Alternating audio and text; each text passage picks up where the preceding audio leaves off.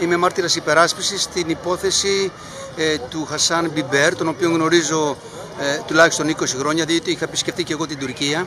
Είναι πρόεδρο, ήταν πρόεδρος του Σωματείου Λιμενεργατών στη Μερσίνη και πρόεδρος του Σωματείου Λιμενεργατών όλης της Τουρκίας.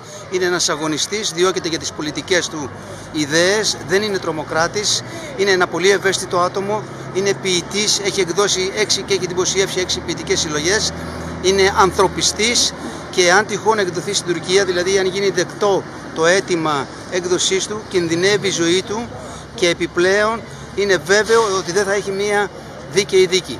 Γιατί έχει συλληφθεί και γιατί βρίσκεται εδώ αυτή την ώρα για να δικαστεί; Εδώ βρίσκεται λόγω της πολιτικής του δράσης, υπάρχει, έχει, έχει συλληφθεί, είχε συλληφθεί στην Τουρκία, είχε καταδικαστεί, υπάρχει καταδικαστική απόφαση και έχει ζητήσει πολιτικό άσυλο. Ε, και συνελήφθη εδώ από τις ελληνικές αρχές; Συνελήφθη για κάποια άλλη υπόθεση η οποία είναι, δεν έχει καμία σχέση με τη σημερινή, είναι απολύτως μία σκευωρία και με την ευκαιρία αυτή ενεργοποιήθηκε το ένταλμα που, με το οποίο συζητείται από την Τουρκία η έκδοσή του.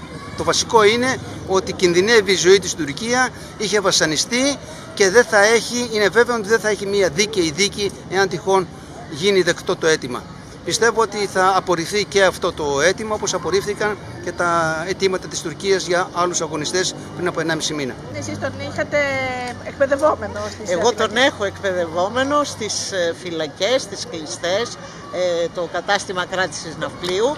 Ε, πρόκειται περί ενός εξαιρετικού ανθρώπου, κυρίου, ευγενέστατου, ο οποίος θέλει να μάθει, είναι σε όλα τα μαθήματα εκεί παρόν και ενδιαφέρεται να μάθει την ελληνική γλώσσα. Μου έχει κάνει εντύπωση η στάση και το ήθος αυτού του ανθρώπου.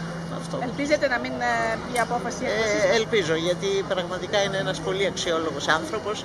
Είδα και εγώ τις συλλογές του, μου έχει χαρίσει ένα βιβλίο και είναι, ε, τι να πω τώρα, τέτοιοι άνθρωποι είναι διαμάντια.